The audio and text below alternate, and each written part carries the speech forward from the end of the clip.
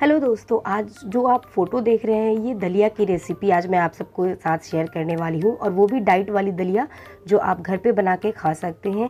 और ये आधा कटोरी दलिया है जो आप देख रहे हैं पैकेट वाली दलिया। आप किसी भी ब्रांड का दलिया ले सकते हैं जो आपको ईजिली पैकेट में मिल जाता है मार्केट में। और इसको मैं आ, पैन में डाल करके थोड़ा सा भून रही हूँ। ये ऑप्शनल है आप चाहें तो इसे स्किप कर सकते हैं। बिना भुने भी आप इसे उबाल सकते हैं। तो अगर आपको हमारा ये रेसिपी अच्छी लग रही है तो प्लीज़ चैनल को सब्सक्राइब करके बेल आइकॉन में सेलेक्ट कर दें।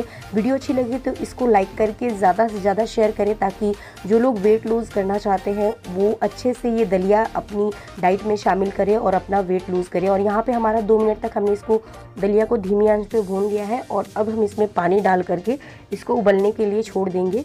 आ, उबालना इसको तब तक है जब तक ये काफ़ी सॉफ्ट हो जाए बिल्कुल चावल के जैसे नरम होना चाहिए ये। और थोड़ा सा इसमें हम नमक डाल देंगे ताकि नमक का टेस्ट इसमें आ जाए। और कलर के लिए थोड़ा सा मैं यहाँ पे यूज़ करूँगी हल्दी का पाउडर लगभग दो पिंच मैं इसमें हल्दी पाउडर डालूँगी। इससे थोड़ा सा कलर इसका बेटर आएगा। और ये ऑप्शनल है, आप चाहें तो हल्दी भी स्किप कर सकते हैं। और यहाँ पे हमारा दलिया बिल्कुल उबल के रेडी हो चुका है, जैसा कि आप देख सकते हो। और यहाँ पे मैंने पानी का जो एक्स्ट्रा जो हिस्सा था, इसमें वो सारे पानी मैंने निकाल कर अलग रख लिया है। और अब मैं आपको चेक करके दिखाती हूँ, ये देखो आप। ये हाथ पे बिल्कुल अच्छे से ये मसल के देख रही हूँ मैं।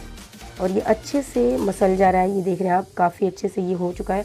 और इसमें सब्ज़ी आप जितना लेना चाहें, आप हरी सब्ज़ियाँ, आलू को छोड़कर सारी हरी सब्ज़ी आप इसमें डाल सकते हैं। यहाँ पे देख सकते हैं, मैंने यहाँ पे हरी सब्ज़ी सारे धो करके काट लिए हैं।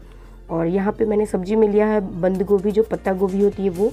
और एक हरी मिर्च, शिमला मिर्च, गाजर, धनिया की पत्ती, टमाटर और प्याज। यहाँ पे मैंने सारी अपने अकॉर्डिंग मैंने सब्ज़ी ले लिया। और इसमें तेल हम डालेंगे ढाई से तीन चम्मच मैंने इसमें तेल लिया है। ज़्यादा तेल आपको यूज़ नहीं करना है क्योंकि आप वेट लूज़ के लिए इसे बना रहे हैं।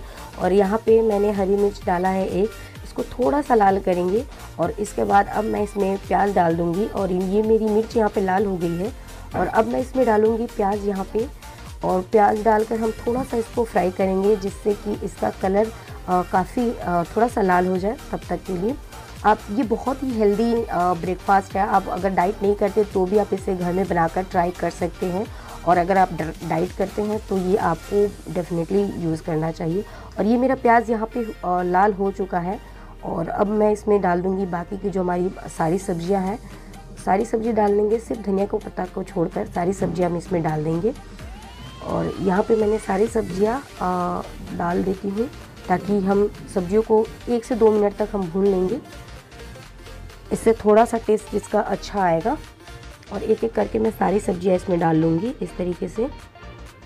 सब्ज़ी मैंने यहाँ पे थोड़ा एक्स्ट्रा लिया है क्योंकि सब्ज़ी जितना ज़्यादा आप इसमें यूज़ करेंगे, उतना अच्छा होगा। दलिया आप चाहें तो आप आपकी जो भी आप क्वांटिटी ले तो वो कम कर सकते हैं, लेकिन सब्ज़ी आप इसमें ज़्यादा डालें क्योंकि सब्ज़ी, हरी सब्ज़ियाँ हमने सारी लिया है और काफ़ी हेल्थ के लिए अच्छा होता है और इससे आपका पेट भी काफ़ी अच्छे से भरता है। तो थोड़ा सा मैंने यहाँ पे एक मिनट तक इसको भून लूँगी और काफ़ी कलर आप जैसे कि देख रहे हैं, इसका चेंज होना शुरू हो गया है और काफ़ी अच्छा कलर आ गया है एक मिनट तक भूनने के बाद, एक से दो मिनट। और अब मैं इसमें मसाले डालूँगी। और मसाले आप ध्यान से देखिए मैं इसमें एक स्पेशल मसाला डालूँगी। आप चाहे तो वो स्किप कर सकते हैं और चाहे तो उसको डाल सकते हैं। इस मसाले को डालने से बहुत ही अच्छा टेस्ट आता है इसमें। और यहाँ पे मैं इसमें यूज़ करूँगी जो मैगी मसाला मैजिक होता है वो मैग मैगी का जो मसाला पैकेट होता है वो मैं पूरा पैकेट इसमें डालूँगी।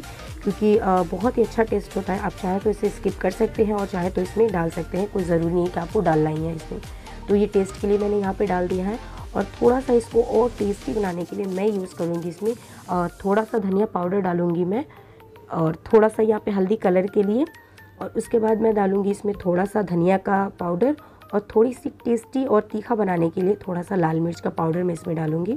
बस थोड़ा थोड़ा सा डालना है आपको। बहुत ज़्यादा मसाले इसमें यूज़ नहीं करने हैं आपको।